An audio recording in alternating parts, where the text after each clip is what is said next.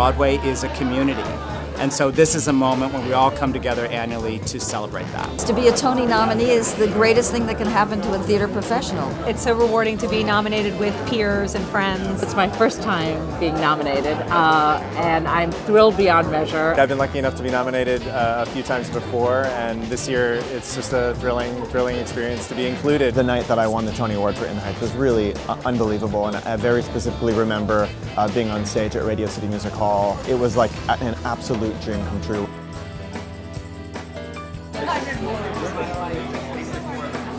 It's a great opportunity to thank all the people I've worked with for more than 50 years. The best part of the Tonys is having a chance to communicate with colleagues, which we don't have the opportunity to do when we're really working. The fact that we can all be in the audience together, that means more to me than almost anything. Broadway is a very close-knit community. We can learn a few things from these guys, you know, in the rock world.